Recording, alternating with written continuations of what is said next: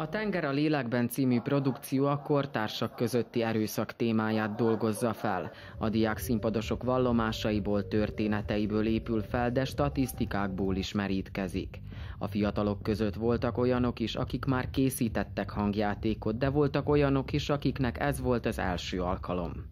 Nem értettem, hogy ez hogy fog működni egy rádióban, mert teljesen más ugye játszani, meg látni, hogy mi történik mint hogy hallgatni csak, de szerintem átadja egész jól, csak hangban is. A szövegkönyvet jelentősen átdolgozták annak érdekében, hogy a táncokkal, mozgással gazdag színházi előadás a rádióban is megállja a helyét.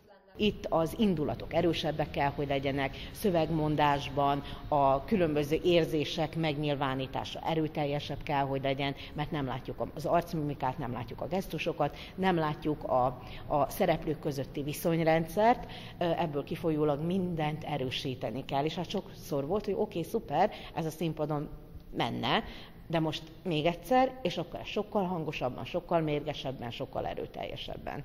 Hosszú időre nyúlik vissza az Újvidéki Rádió és a Színes Szilánkok diák színpad együttműködése, azonban a Tenger a lélekben című rádiódráma volt az első olyan produkció, amelyet a diák színpad már médiaházunk új székházában felvételezett.